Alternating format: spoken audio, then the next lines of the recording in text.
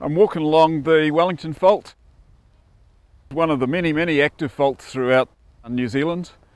The difference in level here shows how much movement there's been in about the last 10,000 years along this particular fault.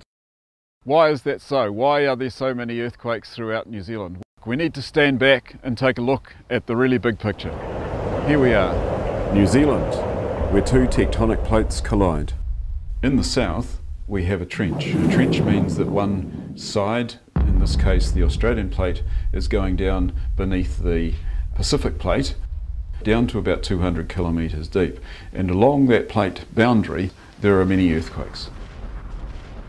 In the central South Island, the plate collision is mostly taken up by movement across what we call the Alpine Fault. So much of the earthquake activity on the Alpine Fault is sideways movement as well as a little bit of upwards movement.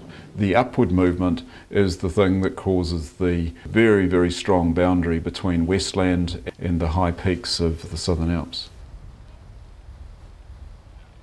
Away from the Alpine Fault, which is the main fault of the plate boundary, there are many smaller faults, such as those that generated the devastating earthquakes in Canterbury.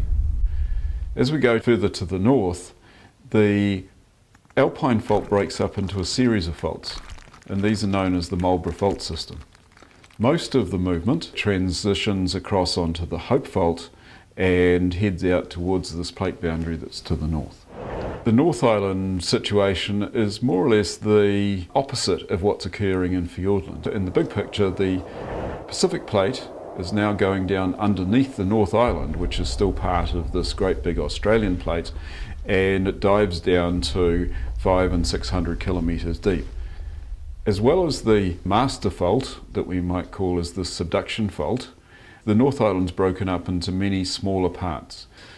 So the earthquake activity is quite varied in the North Island. We have the possibility of really big earthquakes on the plate interface, on the subduction zone in East Coast North Island, and that could be similar to big earthquakes that have occurred in Japan or in Indonesia smaller earthquakes, but maybe closer to the cities, like the Napier earthquake in 1931. And then when we get into the volcanic zone, that's where the land is pulling apart, and we see a different sort of fault again. And earthquakes are generally smaller on these faults.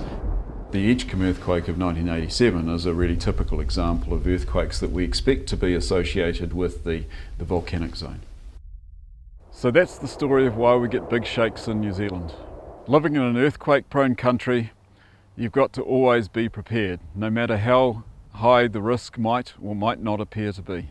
Remember, if the earth starts shaking, immediately drop, cover and hold.